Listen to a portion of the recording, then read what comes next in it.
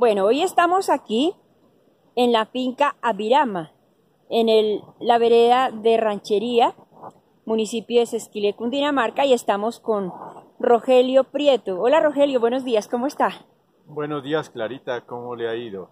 Bueno, cuénteme, yo estoy aquí, aquí arriesgándome, pero esto es maravilloso ver que usted tiene colmenas de abeja.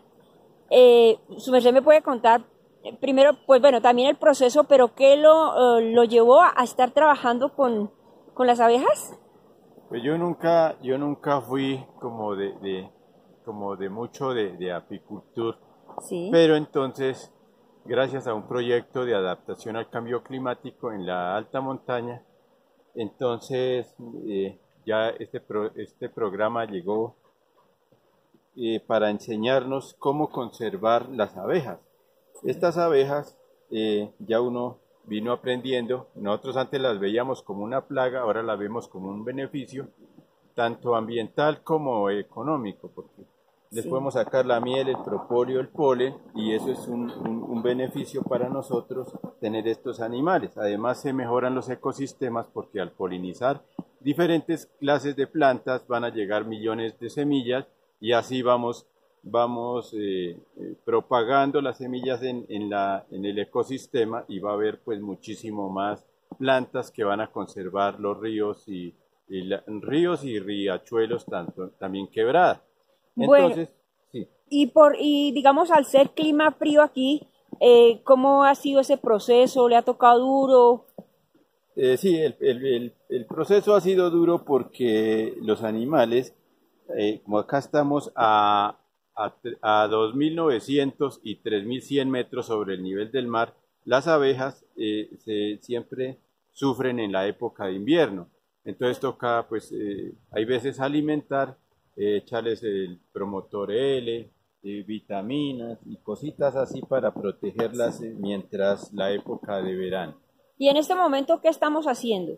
Eh, acá en este momento vamos a, a revisar, a revisar la, una la, alza de, la miel y, nos daremos cuenta qué resultado ha tenido porque como pues ha estado lloviendo de pronto pues no, no va a haber mucho pero vamos a mirar a proceder a, levantar el, cuadro ¿Cuánto demora una... ¿Cómo, se llama esta cajita que yo estoy viendo realmente? Esa es, ese es alza, una, una media alza. Sí. Entonces, pues la vamos a abrir para, para mirar a ver qué, qué tanto, qué tanto producto hay y así procederemos a alimentarlas más con, con, de pronto alimentarlas o si no dejarlas ahí y quieticas, no, y no ir a sacarles eh, miel porque pues sería terrible quitarle la, la, la, comida, ¿sí? Sí. Entonces vamos a, mirar a ver, pero vemos que sí hay miel, hay, hay, hay, buena miel. Mire que sí. Ahí hay buena miel. Y esos huequitos son la cera de la abeja, ¿verdad? Sí, el, opérculo. Eh, entonces... Rogelio, su merced sabía que los muiscas, cuando hicieron los tunjos, recordemos que los tunjos son los que nosotros llamamos muy comúnmente las piezas que hay en los diferentes museos. Ellos hacían la aleación tumbaga, pero ellos trabajaban la cera de la abeja y con eso hacían como los moldes, diríamos, para hacer los tunjos. La cultura muisca trabajaba mucho la la cera de la abeja y yo me imagino que también la miel.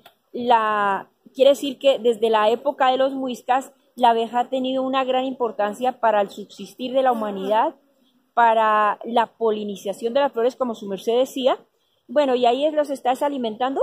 Eh, en unos cuadritos para que se calmen un momentico mientras hacemos la, la retoma de, de... Sí. Entonces, vamos a mirar acá vamos a espercolar y nos damos cuenta de la miel que empieza a bajar.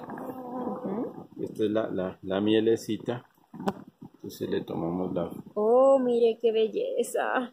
Y de la pura. Sí, sí, sí, porque es que acá estamos a, a, a 2900.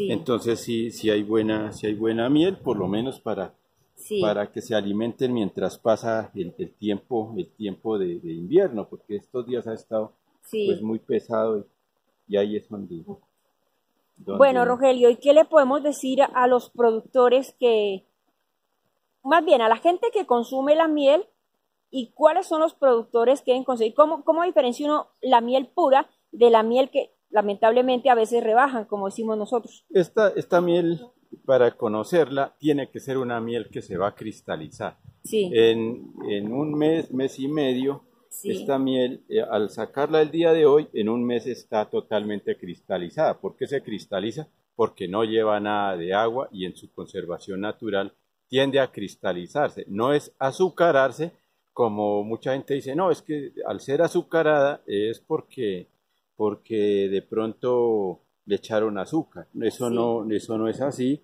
porque ella se cristaliza por su, por su, por su entorno natural. Sí. Ah, qué bueno, Rogelio. Pues bueno, muchas gracias. Cuénteme, ¿qué tiempo lleva su merced trabajando esto? Eh, yo llevo trabajando con abejas eh, eh, hace dos años y me ha ido muy bien porque vendo mis productos al detal. Por mayoría al detal vendo propóleo, polen y, la miel. La miel es lo que más, lo que más se, vende para, para las personas que, que vivimos acá por ser natural y que no y, ser de, alta montaña, entonces hay diversos eh, eh, floraciones que son, son nativas y entonces pues eso eh, sale una miel muy beneficiosa. Claro. y pues el propóleo también lo estamos vendiendo y el, y la y el polen el polen sí, también claro es una... quiere decir que si yo si alguien me pregunta cómo puedo comprar la miel de donde Rogelio yo lo puedo contactar con su merced. Sí, claro, me pueden contactar inmediatamente. Me dice que su merced tiene una página, uh, una, una promoción de su finca Virama. Eh, pues eh, sí, tengo unos informes en la finca de hoy donde, pues, pero... Ah, digamos, como tal en página no tiene su merced. No, no, tranquilo. Entonces, aquí lo que hacemos, porque eh, yo siempre pido permiso a las personas a que si yo puedo subir estos videos que grabo, a mi canal de YouTube. Yo soy Clara Chauta, contadora de historias ancestrales. Y con esto que busco en mi canal, mostrar la gente trabajadora de Sesquilé, gente como usted, Rogelio, eh, gente que ha sido emprendedora, que yo, yo me acuerdo, bueno, nosotros somos muy conocidos, es una persona que aprecio mucho, y alguna vez solo de pronto se pensaba en alguna otra clase de trabajo como la ganadería, pero acá su merced ha podido trabajar en su finca muchas cosas y su merced, yo veo que es muy joven para todo este proceso de trabajo que ha hecho, pero también va al lado de su familia trabajando, van de la mano todos, ¿verdad?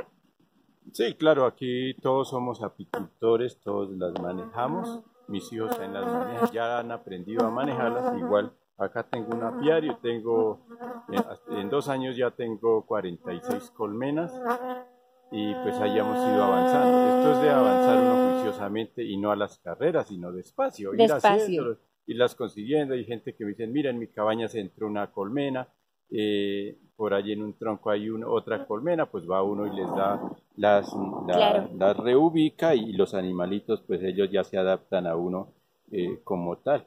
Algo que admiro es que su merced no se pone guantes, ¿no lo pican? No, pues hay veces lo pican a uno, pero el mismo organismo ya va cogiendo como esa resistencia y además uno ya, pues yo las manejo ya sin guantes. Lo que no debo manejar es la, eh, las abejas sin la careta porque lo pican en los ojos claro. uno y pero no, de resto Qué bonito. Yo, las manejo así. Pues Rogelio, muchas gracias. Este video será subido a mi canal de YouTube, lo vamos a compartir y qué bueno que mucha gente lo conozca, lo comparta, le dé me gusta de sus opiniones, pero sobre todo que tengamos estos ejemplos para poder producir en nuestras fincas. Yo soy Clara Chautá, contadora de historias ancestrales. Espero les guste, Rogelio. Muchas gracias. No, con muchísimo gusto y mucho cariño por haberles podido dar este informe.